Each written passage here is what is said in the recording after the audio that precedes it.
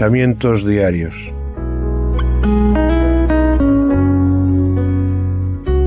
Sencillas pero profundas reflexiones para cada día de nuestras vidas. Meditaciones de la palabra de Dios nacidas de un corazón agradecido por su gracia y misericordia.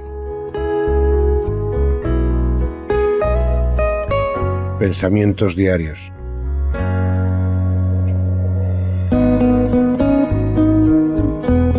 Un devocional de lectura personal obsequiado por Radio Luz a las Naciones, canal cristiano de comunicación, con el único deseo de compartir con todos vosotros la esperanza en Cristo que hay en nuestros corazones.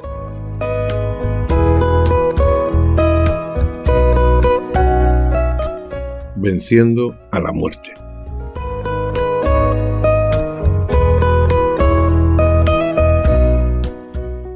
En la vida todo tiene que tener un fundamento. Todo necesita estar sustentado sobre unas bases firmes que se mantengan inalterables ante cualquier duda, desaliento, ataque o idea que se quiera levantar en su contra, cuestionar su existencia, cambiar sus conceptos o simplemente hacerlo desaparecer. La vida del cristiano no es una excepción, y en este caso es la persona de Cristo el principal fundamento sobre el que todo debe de estar edificado. Él es la roca sobre la cual han de descansar todos nuestros cimientos para que en el día malo, en el día en que lleguen esos ríos y esos vientos que nos narra Jesús en el capítulo 7 del Evangelio de Mateo, nuestra vida no se convierta en una ruina. Pero este fundamento de nuestras vidas, que es Jesucristo, su muerte y su resurrección, no serían posibles sin la cruz del Calvario. Aquí es donde comienzan parte de las grandes controversias que se revelan contra el cristianismo, en la cruz. Pero también es donde inevitablemente deben determinar también, a los pies de la gloriosa cruz del Calvario, donde Cristo venció definitivamente al pecado y a la muerte, ganando así para nosotros el derecho a una ciudadanía celestial. Pero desde siempre ha sido la cruz denostada y acusada de no poder ser un símbolo del amor de Dios, sino una despiadada crueldad del Dios Padre hacia su Hijo. Es en función de estos puntos de vista que muchos incrédulos deciden dar la espalda al plan de salvación que Dios tiene preparado para el hombre, poniendo su confianza más en sus buenas obras que en el sacrificio de Cristo. Esto muestra una gran ignorancia de la palabra de Dios y de lo que Él piensa de esas buenas obras. Y la prueba de ello la encontramos en el verso 6 del capítulo 64 del libro de Isaías, donde podemos leer, Si bien todos nosotros somos como suciedad y todas nuestras justicias como trapo de inmundicia, y caímos todos nosotros como la hoja y nuestras maldades nos llevaron como el viento. Tal vez sea esta ignorancia el motivo por el cual hoy me encuentre escribiendo estas líneas. Si nuestras buenas intenciones fuesen suficientes para nuestra salvación, ¿qué sentido tendría la palabra de Dios cuando nos dice que de tal manera amó Dios al mundo que ha dado a su Hijo unigénito para que todo aquel que en él cree no se pierda, mas tenga vida eterna? O tal vez pensamos que la presencia de Dios es un lugar en el que podemos entrar con las maletas llenas de una extraña mezcla de pecado, rebeldía y buenas obras acumuladas a lo largo de la vida. El pecado todo lo mancha, todo lo contamina, y solo el sacrificio de Jesucristo puede limpiar el pecado. Solo quien es lavado con la sangre del pacto puede ser justificado ante el Padre. Pero habíamos comenzado hablando de que todo tiene un fundamento. Y me gustaría exponer tres versículos que pueden, en mi opinión, traer cierta claridad sobre el hecho de que el pecado nos aparta de Dios, que el pecado es juzgado por Dios y que dicho pecado es limpiado por su Hijo Jesucristo.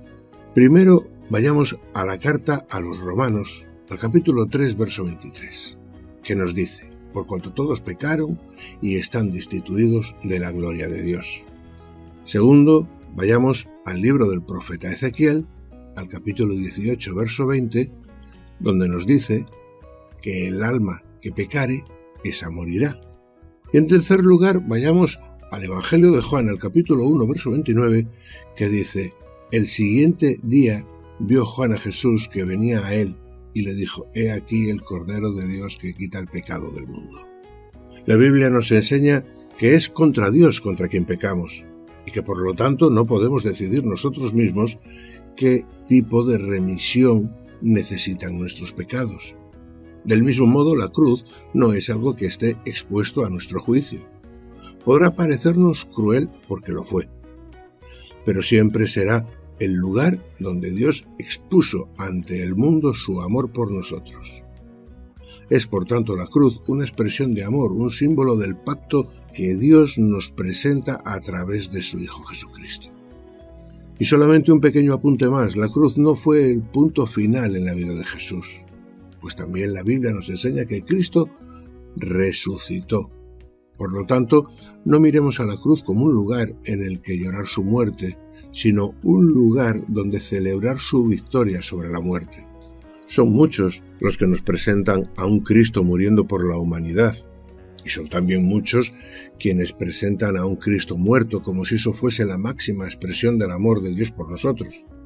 Pero Cristo resucitó pues la obra de la cruz no se limitó a un simple pago por el pecado, sino que, dado que el precio del pecado es la muerte, como nos dice la carta a los romanos en el capítulo 6, verso 23, y Cristo pagó por mi pecado, y efectivamente murió, pero dado también que en él no había pecado, la muerte no pudo retenerle, por lo cual venció a la muerte resucitando, y de esa resurrección también Cristo nos hace partícipes, brindándonos una vida eterna. Por lo tanto, miremos a la cruz como un lugar desde el que decirle al mundo aquello que ya nos dijeron los ángeles. ¿Por qué buscáis entre los muertos al que vive? Que Dios os bendiga grandemente. Pensamientos diarios. Meditando en la palabra de Dios. Santificad a Dios el Señor en vuestros corazones, y estad siempre preparados para presentar defensa con mansedumbre y reverencia ante todo el que demande razón de la esperanza que hay en vosotros.